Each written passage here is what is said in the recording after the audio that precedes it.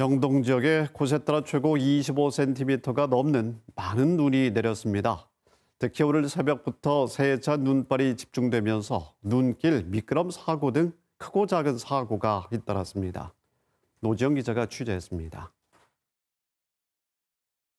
이번 눈은 산간보다는 해안가에 집중됐습니다.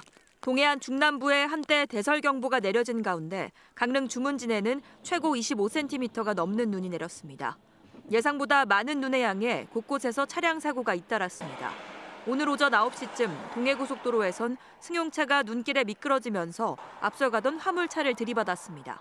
바닥이 안 보일 정도였어요 눈이 쌓여 있는 게 쭉 미끄러지니까 어떻게 할 줄도 모르겠고 브레이크를 나눠 밟아도 미끄러지고 이 밖에도 동해고속도로에서 눈길 미끄럼 사고와 충돌 사고가 속출했습니다. 동해안 국도에서도 차량들이 오르막길을 오르지 못해 운행을 포기하는 사례가 이어졌습니다.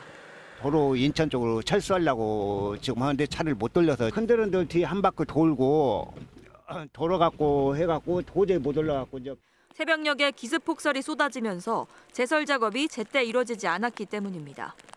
제설 작업이 제때 이루어지지 않으면서 이렇게 내리막길에 차량이 미끄러지는 사고도 속출했습니다.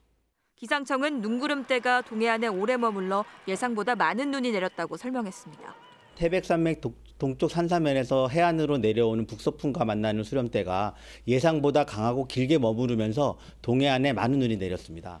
기상청은 이번 눈이 오늘 자정까지 강릉, 동해 삼척을 중심으로 최대 8cm 더 내릴 것으로 내다봤습니다. KBS 뉴스 노정입니다.